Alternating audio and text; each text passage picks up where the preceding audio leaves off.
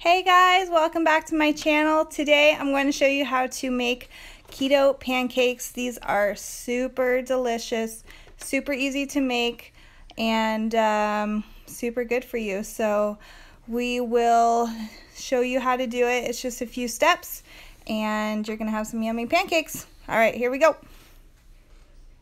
All right, you're going to start with about four ounces of cream cheese or half a cup.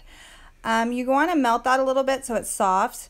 Then you're going to add four um, large eggs, medium to large eggs. Mine were probably on the more large side. Um, add those in and then you are going to, you pretty much just add all your ingredients and then mix it together. So add in your eggs. And then you're going to add a half a cup of almond flour. Um, now, when I did this the first time, I ended up adding a little more almond flour to make my pancakes, to make the um, mixture a little thicker. Um, it just depends on how thin you want your pancakes. If you like them really thin and crispy, add less. If you want them a little thicker, add more almond flour. Then I always, I love cinnamon in everything. So of course I'm going to add a little bit of cinnamon, like a teaspoon. And to give it a little sweet flavor, I add in a little bit of liquid stevia, probably about another teaspoon of that. And then all you do is you blend it together. Um, I probably should have used a bigger bowl because I made a mess everywhere, but it's okay, it worked out. Um, so anyway, you just use a hand mixer or you can even put it into a blender and blend it all up and uh, until it's all, you don't have any lumps or anything in the mixture. And um, there you go.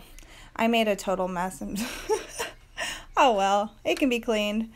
Okay, so there you go. So then you want to pour the batter into a nice hot pan. Make sure you put your setting on high. Get your pan nice and hot. And uh, once you see it kind of steaming a little bit, then add in, um, you want to make smaller pancakes like, I don't know what you see in the picture there. Um, not super big. Um, so you want to make sure that you spray your hot pan with PAM or nonstick spray so your pancakes don't stick and you just repeat the process. Once you see your pancake starting to bubble in the middle, that's when you know it's time to um, flip it over.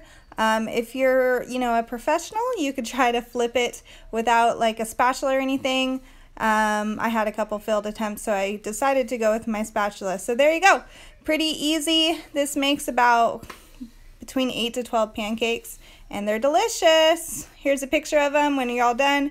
Add some whipped cream, some blueberries, find some sugar-free syrup, and there you go, some keto pancakes. Thank you guys for watching. Please subscribe to my channel and give me a thumbs up.